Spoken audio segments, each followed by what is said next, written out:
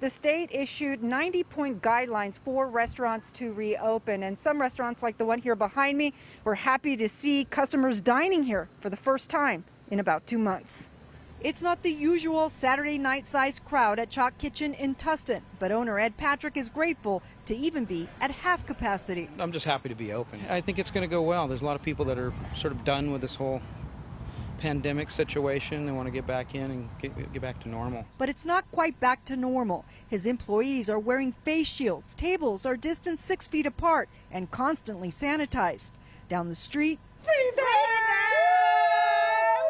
This was the scene at Divan Mediterranean Grill, where the owner, Kaivan Gafour, is also happily adopting extra measures to meet the state and county's rules for reopening. And I'm sure there's a lot of people are still hesitant, trying to figure out if it's safe enough to go out or not.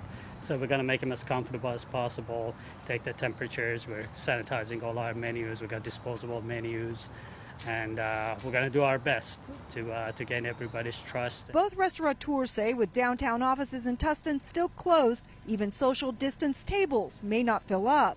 But combined with takeout, they hope to have more hours for their employees. So what have um, the last few months been like for you?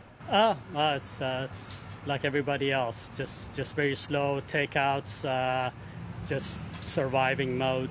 I think another month of, of this would have put us definitely in serious peril to open up. And throughout Orange County, the new safety measures are getting the thumbs up from customers like Jason Grayshaw, who came to Woody's Diner in Newport Beach for pickup, only to learn he could dine in. Everybody inside's awesome.